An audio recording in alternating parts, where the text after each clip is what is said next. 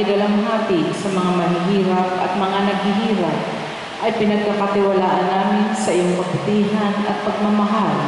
Kami ay lumalapit sa iyo na tulungan mo kaming idulog sa makapangyarihang Diyos ang aming kahilingan.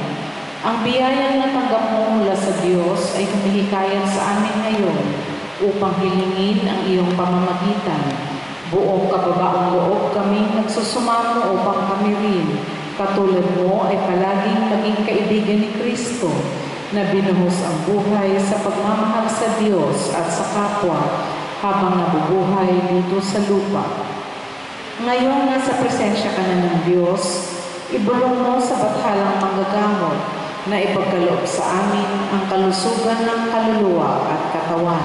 Amen.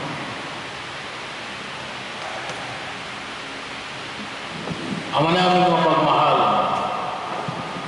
ang tinanggap naming pananapay kinabang ay magdulot nawa sa amin ng katatagan na nagkaloob ng katapatan sa pagirikod at tagumpay sa pagtitiis ng pagsubok sa iyong martir na si San Calixto I sa pamagitan ng Yeso Cristo kasama ng Espiritu Santo magpasawalang hanggan. Amen.